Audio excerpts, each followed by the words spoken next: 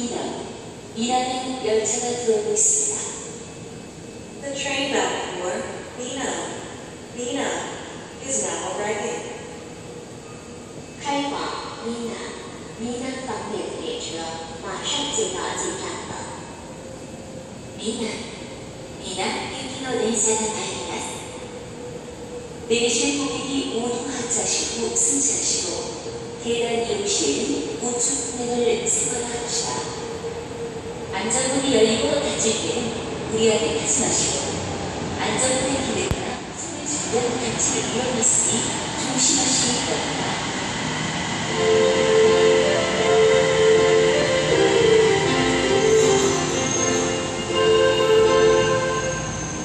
지금 앞으로 앞으로 열차